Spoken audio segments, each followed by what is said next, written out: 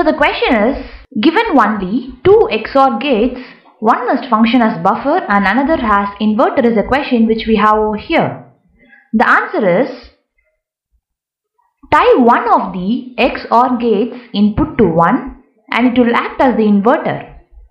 Tie one of the XOR gates input to 0, it will act as a buffer.